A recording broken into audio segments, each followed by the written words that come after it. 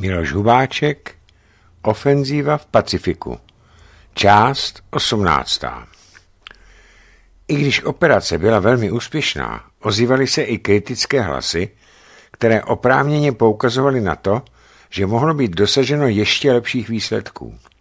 Hlavní nedostatek byl spatřován v dosavadní jednostranné zaměřenosti osádek palubních letounů na boj s nepřátelským letectvem, především v obraném slova smyslu, a na podporu výsadkových operací. Chyběl výcvik a praxe bombardování námořních cílů. Například při útoku na rychle plující japonský torpédoborec bylo vyplýtváno 6 torpéd a 12 půltunových pum, aniž bylo plavidlo zasaženo nebo jen poškozeno.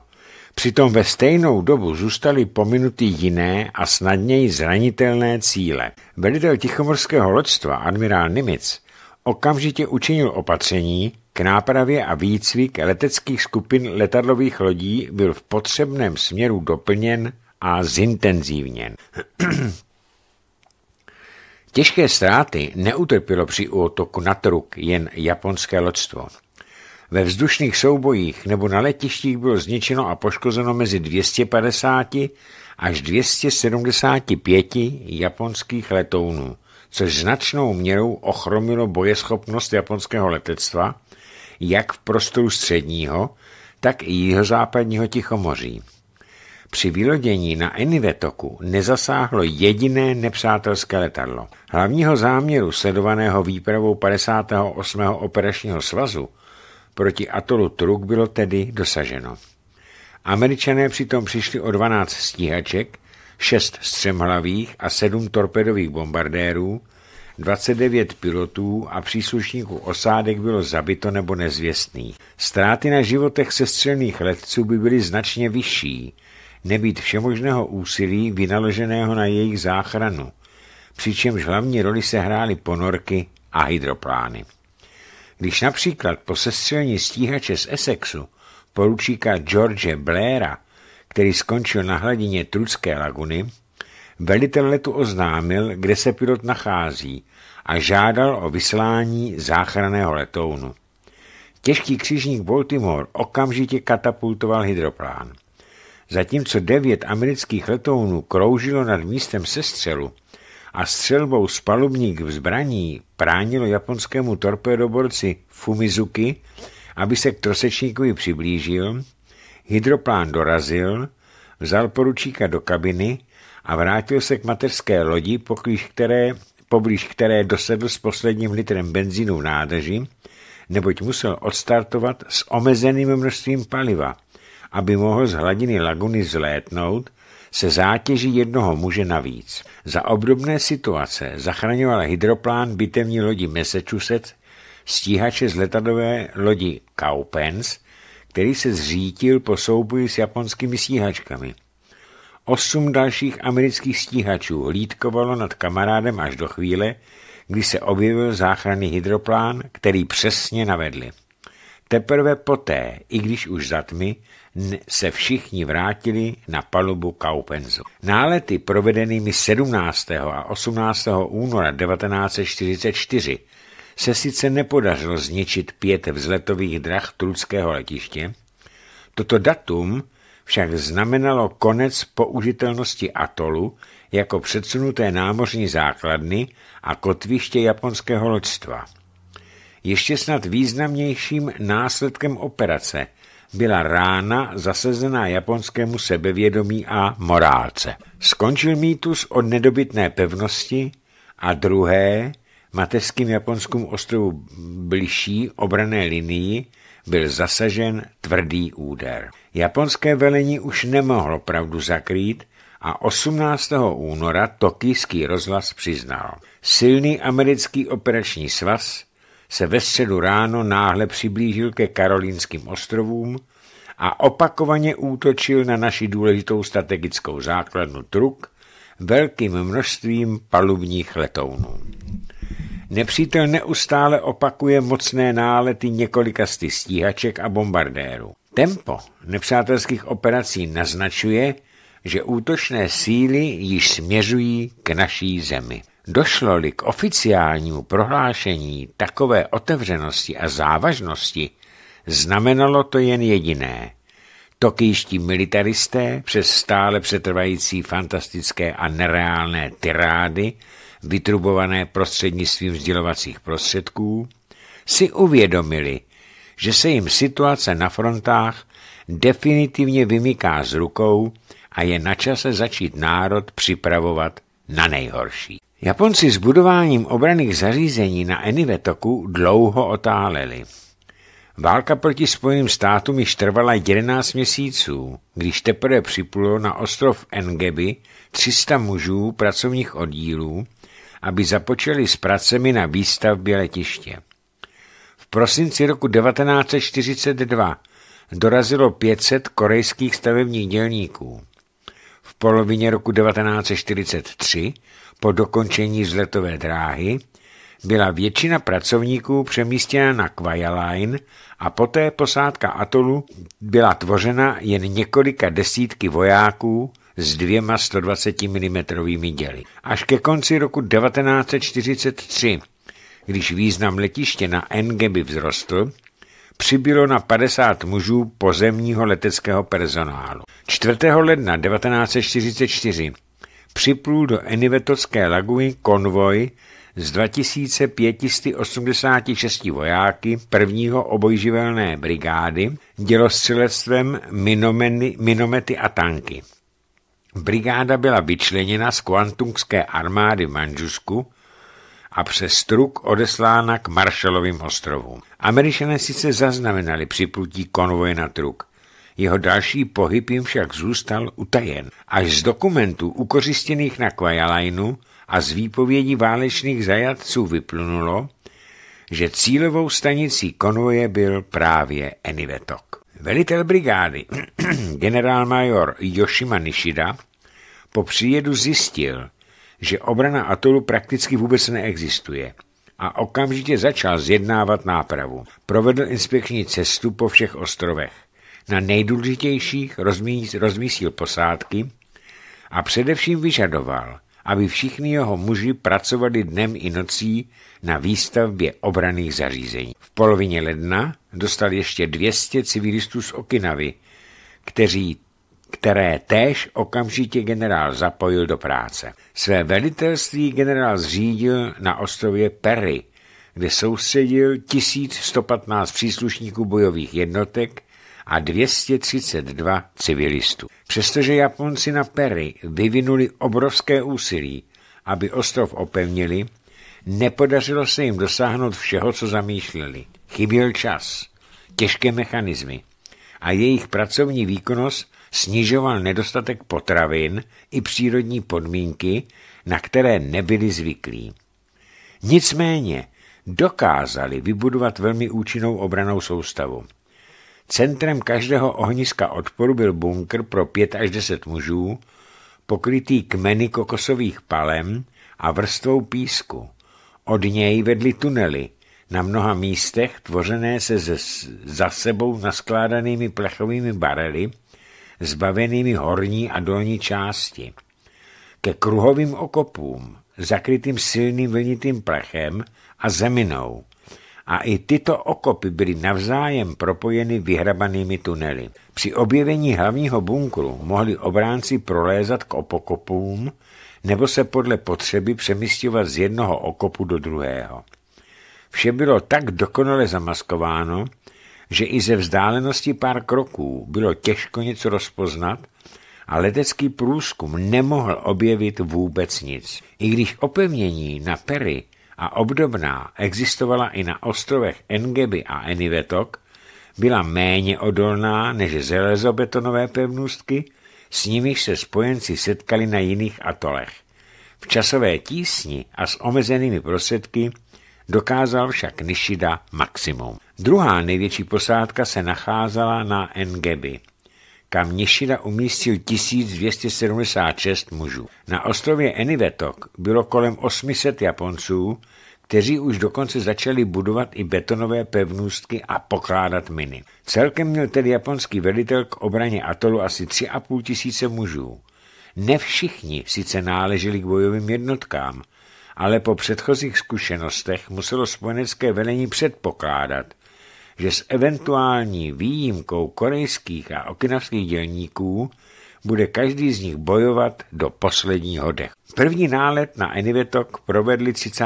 ledna 1944 letouny skupiny rychlých letadlových lodí kontradmirála eh, Shermana. Ještě před rozedněním se objevili nad letištěm ostrova Engeby, stíhačky zabránili nepřátelským pilotům v odstartování a poté se spolu s bombardéry vrhli na 15 zaparkovaných středních bombardérů.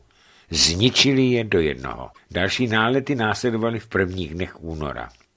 7. února Shermanovu skupinu vystřídala skupina kontradmirála Gindera, jejíž palubní letouny se znovu vrátili 11.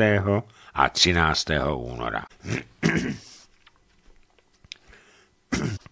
Provedení operace Catchpole, tedy obsazení atolu Enivetok, bylo svěřeno kontradmirálu Harrymu Hillovi, veliteli útočné skupiny, která před několika dny úspěšně ukončila akci proti atolu Majuro. Do jeho nově zřízené expediční skupiny Enivetok byl zařazen jako její hlavní složka záložní svaz kapitána Loomise, kterého nebyla, nebylo třeba užít v operaci Flintlock a na jehož devíti transportních lodích se nacházelo 8 tisíc vojáků první taktické skupiny brigádního generála Tomase Watsona. Šlo o 22. posílený pluk námořní pěchoty a 106. posílení pluk 27. pěší divize. Pod Lumisovo velení náleželo i devět tankových výsadkových lodí, šest transportních výsadkových člunů, jedna doková výsadková loď vezoucí tanky a dva transportní torpédovorce. Součástí expediční skupiny Enivetok byla i skupina palebné podpory kontradmirála Jesse Ohlendorfa, tvořená třemi staršími bitevními loďmi, třemi těžkými křižníky a patnácti torpedoborci a skupina tří doprovodných letadlových lodí kontradmirála Rex Gaydela, doprovázená čtyřmi torpédoborci. Operační plán, sestavený kontradmirálem Hillem a brigádním generálem Watsonem, připomínal plán užitý při útoku na atol Kwajalein. V první fázi měly být obsazeny dva ostrůvky sousedící s Engeby, poté samotný ostrov Engeby, potom ostrovy Enivetok a Perry a nakonec budou od Japonců vyčištěni zbývající ostrůvky atolu. Nejvýznamnějším a také prvním cílem operace byl ostrov Engeby, na kterém se nacházelo jediné japonské letiště v atolu. V časných ranních hodinách 17. února se výsadkové loďstvo přiblížilo k atolu. Pokud velitelé invazních sil nechtěli riskovat vylodění v silném příboji dorážejícím na oceánský břeh ostrovů, bylo nutno vplout do laguny. Vedli do ní jen dva vjezdy, vhodné k proplutí velkých lodí. Hluboký vjezd na východní straně mezi ostrovy Perry a Japtan a široký vjezd na jižní straně mezi ostrovy Enivetok a Ingurin. Útok zahájili křižníky a torpédoborce ostřelováním ostrovů Enivetok, Perry a Japtan, současně k oběma vjezdům do laguny vypluly minhlovky. Hluboký vjezd zaminován nebyl – ale v širokém uvázlo v jejich sítích 28 min. Šlo o první japonské minové pole, se kterým se američané v průběhu tažení Mikronézii setkali. Po vyčištění plavebních tras výsadková plavidla vplula do laguny širokým vězdem a těžké lodi skupiny palebné podpory hlubokým vězdem. Bylo s podivem, že po celou dobu ostřelování a bombardování ostrovů na jižní straně atolu ani během vjezdu lodí do laguny nezazněl z Enivetoku ani z Perry jediný výstřel. Všude byl klid. Zdálo se, že ostrovy jsou opuštěny. Na muscích proplovajících lodí, zejména v hlubokém vjezdu, však nepolevovalo napětí. Jak později napsal Hillův operační důstojník kapitán Ricketts, Sledovat loďstvo vplouvající v koloně do laguny úzkým vjezdem a potom pokračující nepřátelskou laginou více než 20 mil bylo jednou z nejzdramatičtějších událostí, jakých jsem byl svědkem za celou válku. Nepřátelské baterie, přestože měly americká plavidla doslova před ústím děl, se neozvaly.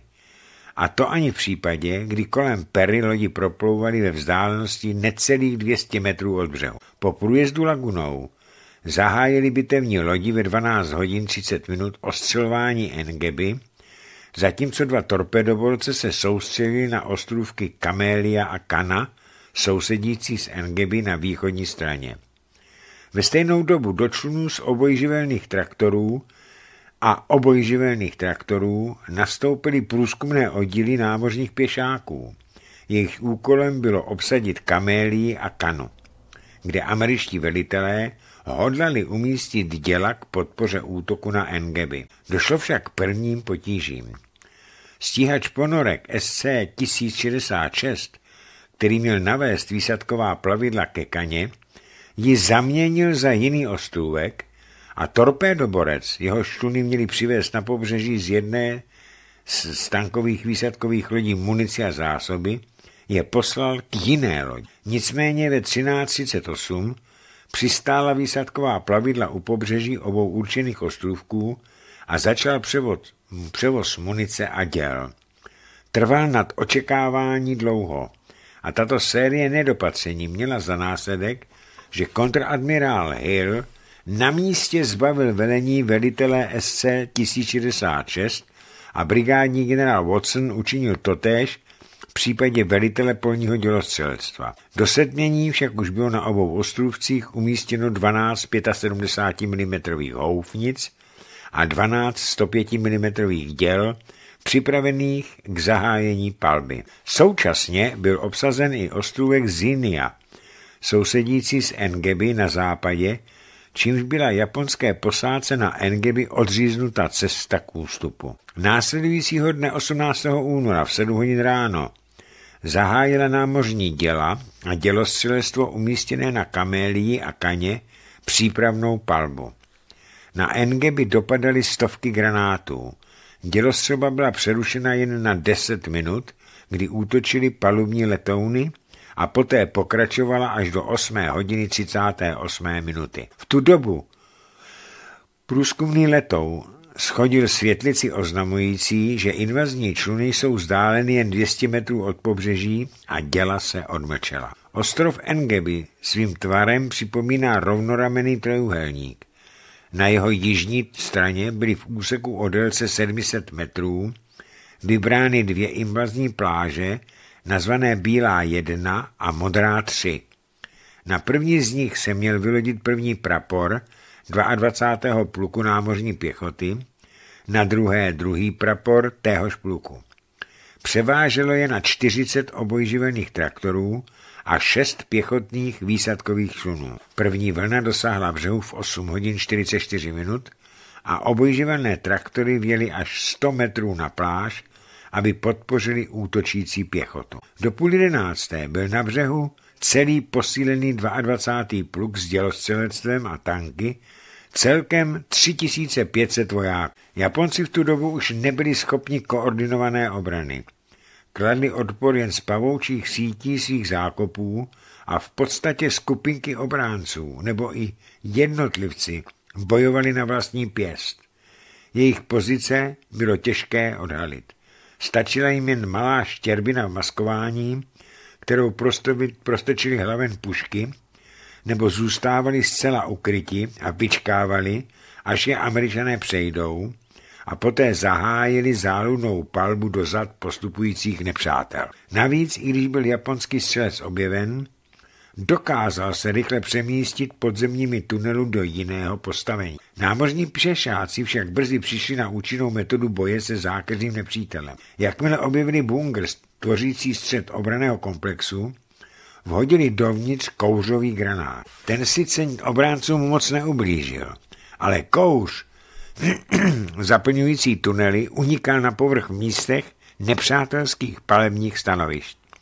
Tím byla celá síť odhalena a v závěrečné fázi dobývání přišli ke slovu nálože a ruční granát. Ve 14 hodin vstoupil na Engeby brigádní generál Watson a o 50 minut později hlásil kontradmirálovi Hillovi, že je ostrov obsazen.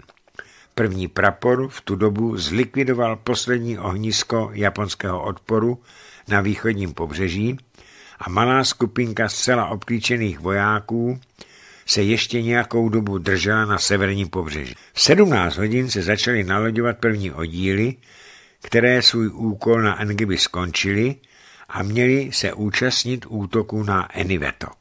Rychlé obsazení Engeby sice Japoncům zabránilo v organizované a centrálně řízené obraně. Ta se zhroutila hned v prvních hodinách po vylodění, ale ještě neznamenalo, že boje na ostrově zcela ustaly. Zůstávala spousta jednotlivých japonských vojáků, ukrytých v zamaskovaných podzemních skrýších. Po setmění v noci z 18. na 19. února vylézali z úkrytů vyzbrojení rušními granáty, puškami i automatickými zbraněmi a napadali americká postavení. Ti, kdo neměli zbraně, si je snadno obstarali, neboť jak japonské, tak i americké granáty, pušky a munice byly roztroušeny po celém ostrově. Až ráno nastoupili ženisté, vyzbrojení plamenomety a náložemi a spolu s pěšáky začali systematicky vyhledávat a ničit poslední zbytky skrývajících se nepřátel. Z více než 1200 Japonců, Okinavanů a Korejců, kteří tvořili posádku ostrova, nakonec přežilo jen 19 mužů. Námořní pěšáci měli 85 mrtvých a 166 raněn. Ostrov Enivetok má tvar obrovitého kýje. Jeho špalice tvoří východní břehy širokého vězdu a zbytek se zužuje na severovýchod k ostrovu Perry. Japoncům se málem podařilo Američany přesvědčit, že jak Enivetok, tak Perry nejsou obsazeny a kdyby tato válečná lest uspěla, mohli útočníci svůj omyl draze zaplatit. Tak úspěšně se japonská posádka na obou ostrovech skrývala před svídivými zraky průzkumných letounů, palubních letadel letadlových lodí i před hlídkami na plavidlech invazního loďstva, proplovajícího těsně kolem pobřeží při průjezdu do laguny. Že nikdo nikdy nezahlédl jediného japonského vojáka, jediné vozidlo ani dělo. Těžko říci, jaký byl skutečný záměr generál majora Nishidy, sledovaný touto taktikou, Snad věřil, že Američanům jde jen o letiště na Engevy a po jeho obsazení odplují a on se dočká velkého japonského loďstva, slibovaného tokijskou propagandou, s jehož pomocí nepřítele z atolu vyžene. Naštěstí pro Američany a skutečně v hodině 12. Spravodajští důstojníci objevili v troskách japonských postavení na Engeby dokumenty, ze kterých vyplynulo, že na Enivetoku i na Perry je nepřátelská posádka, navíc tvořená hlavními silami první obojživelné brigády, náležející k nejzkušenějším a nejodolnějším jednotkám japonské armády. Překlad velmi důležitých dokumentů obdržel velitel invazních vojsk brigádní generál Watson ve 14 hodin odpoledne 18. února. Po poradě s kontradmirálem Hillem okamžitě změnil plány ustoupil od původního záměru udržet současně na Enivetok i Perry a rozhodl napřed soustředit všechny síly k útoku na Enivetok a potéž, poté totéž učinit v případě Perry. K vylodění na Enivetoku mělo dojít ráno 19. února. Třetí prapor 106. pěšího pluku zaútočí z laguny na pláž Žlutá 1, první prapor na pláž Žlutá 2 a třetí prapor 22. pluku námořní pěchoty zůstane v záloze. Vzhledem k domněnce, že na ostrově není nepřátelská posádka, bylo v předchozích dvou dnech ostřelování i bombardování Enivetoku minimální. Teď se kontradmirál Hill snažil napravit zanedbané. Do stanovené hodiny H však příliš času nezbývalo. I tak dva těžké křižníky a dva torpédoborce dokázali na ostrov vypálit přes 1203 mm a téměř 4,5 tisíce 127 mm granátů, což byl dvojnásobek původně plánovaného množství. V 9 hodin 16 minut vstoupili první vojáci na žluté pláže. Za nimi následovali v rychlém sledu další vlny pěchoty a tanky. Necelých 200 metrů od břehu se však zvedala 3 metry vysoká hráz, která tanky zastavila a pěchota, zbavená obrněné podpory a bez předchozích bojových zkušeností z výsadkových operací, znejistila. Postup uvázl. Plavidla zatím přivážela další vojáky a vozidla a zmatek na přeplněném úzkém pobřežním pruhu narůstal. Znepokojený generál Watson kategoricky přikázal veliteli 106. pluku, plukovníkovi Russellovi Ayersovi, bez meškání postup obnovit a vyloďovací pláž uvolnit. Během hodiny se sice situace podstatně zlepšila. Třetí prapor zamířil napříč ostrovem k oceánskému pobřeží a první prapor k jeho širšímu jihozápadnímu konci. Ale počáteční zaváhání a obdobná síť obraných postavení, s jakými se američané setkali na Engeby, ostří útoku otupili. Japonci se rychle chopili příležitosti. Teď už se neskrývali.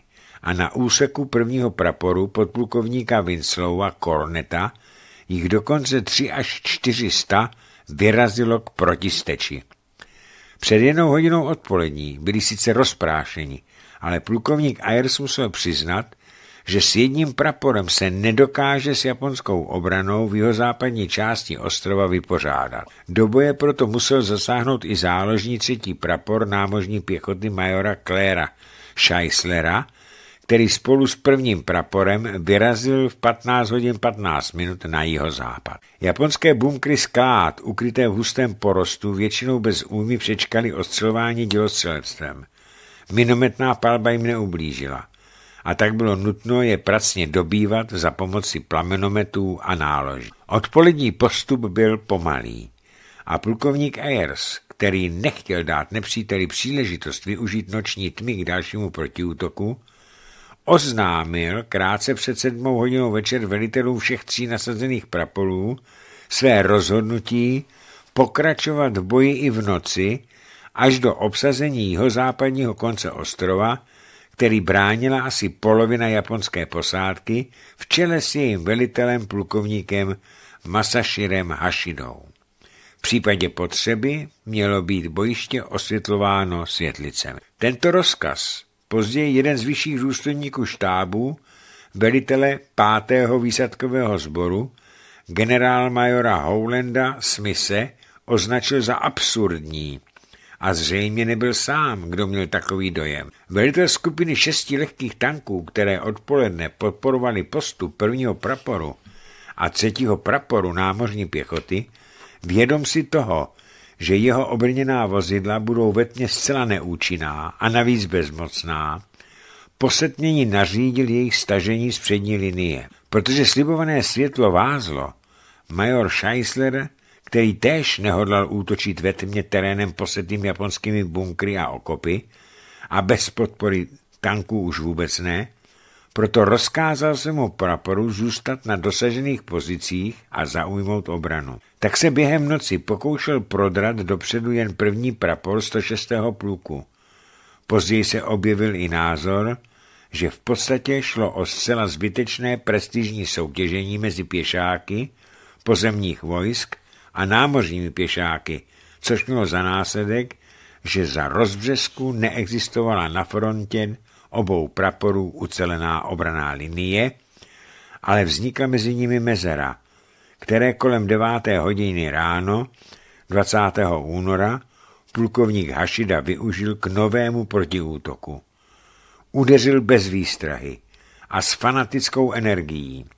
Hlavní nápor směřoval proti velitelskému stanovišti třetího prapory námořní pěchoty. Situace byla po, někou, po nějakou dobu velmi vážná a v tuto chvíli se chladnokrevností a rozhodností vyznamenali zejména operační důstojník praporu kapitán Leighton Clark a praporčík John Nagazina, kteří dokázali zmatené a zaskočené vojáky znovu se skupit, poslali do boje i radisty, písaře a ostatní příslušníky štábu a urputně dorážející Japonce zadrželi do doby, než přišla pomoc. Velký výkon podal i seržant Green.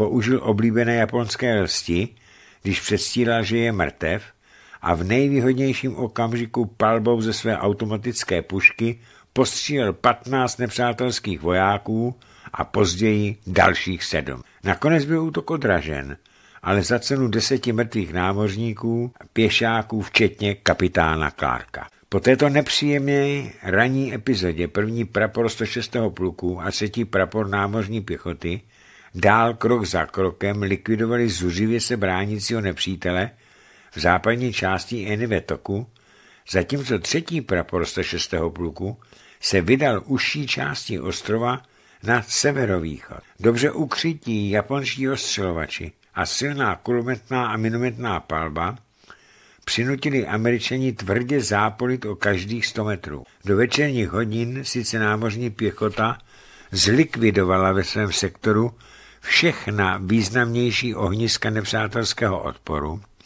ale vojáci 106. pluku, jak ve východní, tak v západní části ostrova, stanovených cílů nedosáhli. Podle pozdějšího rozboru jim nechyběla bojovnost a odvaha, projevily se však nedostatky ve výcviku a na nižších úrovních selhávalo i velení.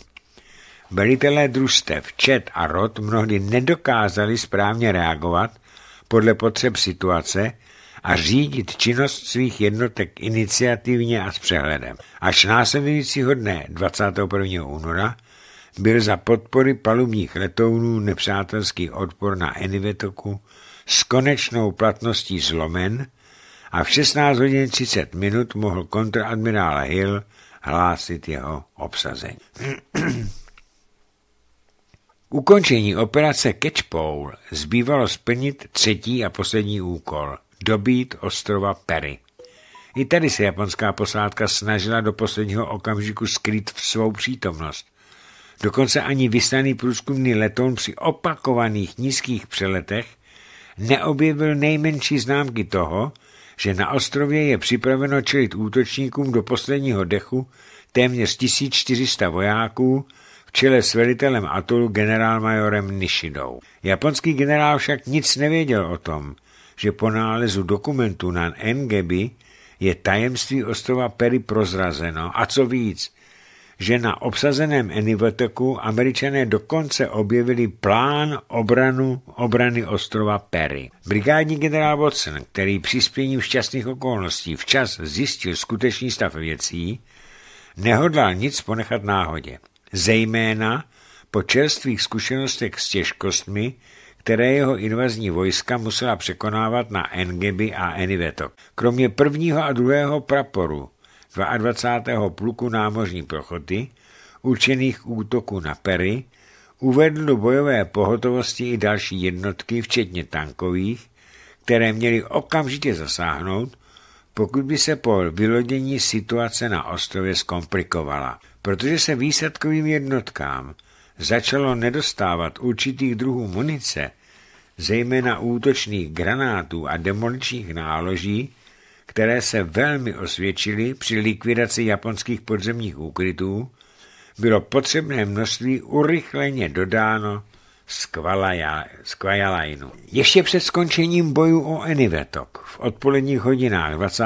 února nechal Watson na ostrově Japtan, odděleném od Perry hlubokým vjezdem, vyložit a umístit do palemných postavení prapor 75 mm houfnic, které již večer téhož dne začaly pery ostřelovat a jejich palba pokračovala až do okamžiku vylodění. V ranních hodinách následujícího dne se připojila i polní děla, rozmístěná na obsazeném Enivetoku.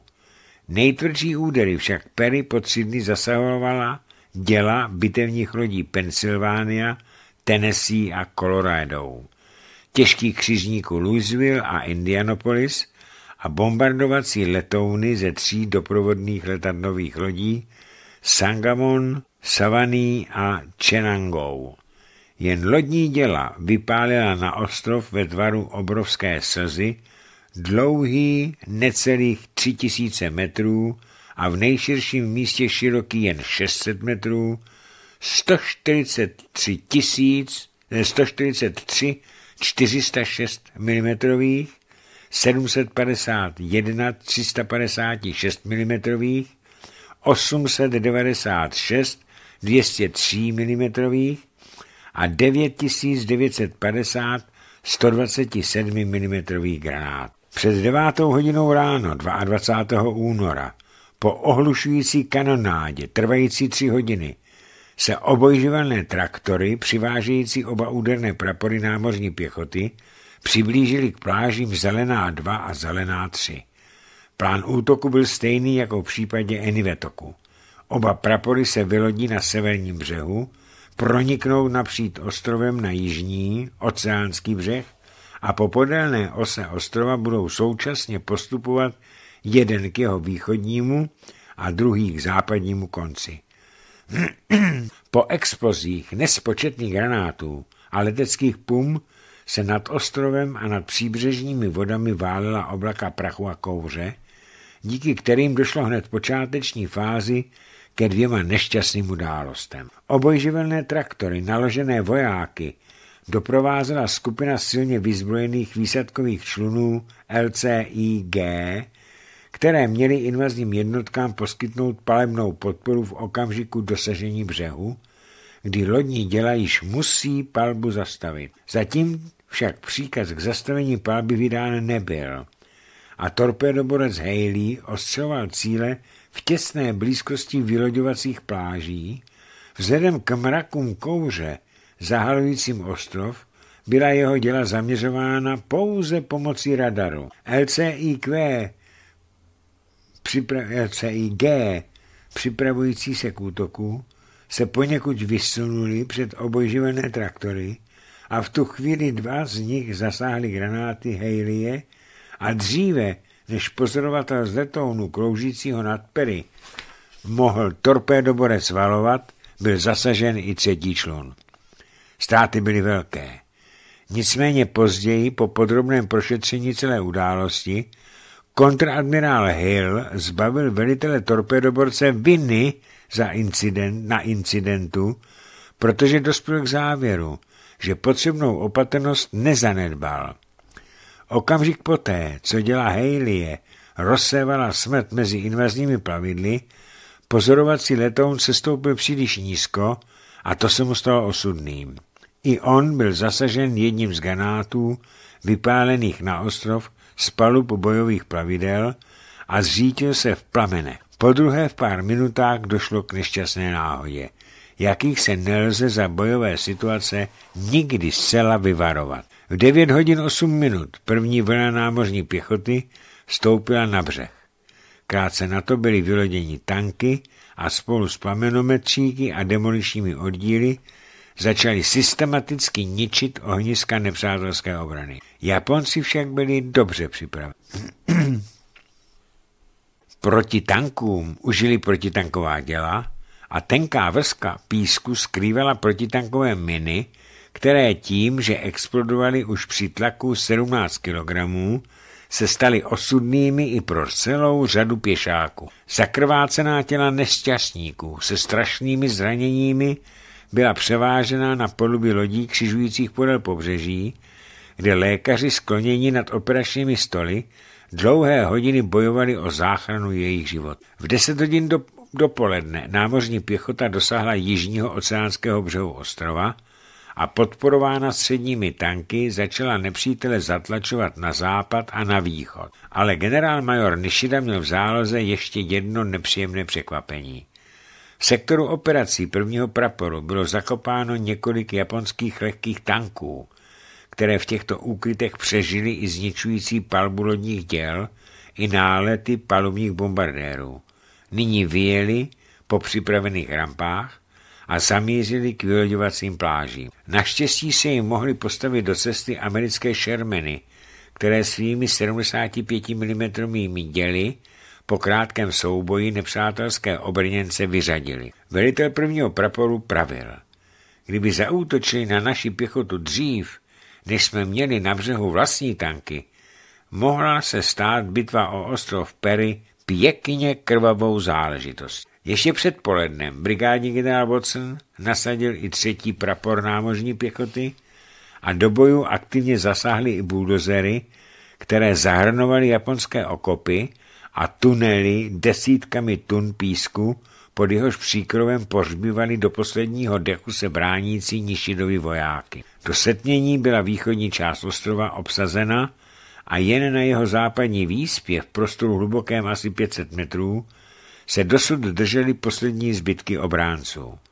Celková situace byla natolik jasná, že v 19 hodin 30 minut mohl brigádní generál Watson podat hlášení oznamující, že ostrov Perry je pod kontrolou výsadkových vojsk. Ráno 23. února námořní pěchota zaútočila na poslední hnízda nepřátelského odporu a do 9 hodin dopoledne je umlčela. Nakonec jsme je zabili všechny, napsal poručík Majer. Žádné oslavování ale nebylo. Jen jsme seděli a hleděli do písku a většina z nás myslela na ty, kteří zemřeli, na ty, které budou vždy vidět jako mladé, smějící se a veselé a budu se snažit zapomenout, jak vypadali ve chvílích smrti. Mnozí z nich byli zohaveni k nepoznání. Z téměř 1400 mužů japonské posádky bylo zajato jen 25 vojáků. Ostatní i s generálmajorem Nishidou padli. Američané ztratili 73 mužů, dvakrát víc než při dobývání ostrova Eniveto. Obsazením Enivetockého atolu se spojenecká vojska přiblížila na vzdálenost tisíc mil k japonským základnám v Marianách. Cílu plánovaných až na květen 1944 bylo dosaženo téměř o tři měsíce dřív. Admirál Nimitz mohl začít současně s upevňováním nově získaných postavení Marshallově souostroví připravovat útok na Mariany. Důležitou součástí této přípravy byla i výstavba nových předsunutých letišť. Již 27. února byla na ostrově Engeby uvedena do provozu vzletová dráha pro stíhačky a v březnu byla dokončena 2700 metrů dlouhá dráha pro bombardéry. Další vzletová dráha byla zřízena na ostrově Enivetok. Po obsazení atolů Majuro, Kwajalein a Enivetok zůstávaly Marshallově souostroví početnější japonské posádky na atolech Jaluit, Mili, Maloelap, Votje a Nauru. Kromě toho na řadě menších atolů a ostrůvků se zdržovaly malé skupiny Japonců. 7. března zahájila námořní pěchota sérii drobných operací, jejich účelem bylo obsadit 16 méně významných atolů a tři ostrovy, zabezpečit tím celý prostor souostroví a získat opěrné body v těsné blízkosti atolů, držených silnými japonskými posádkami.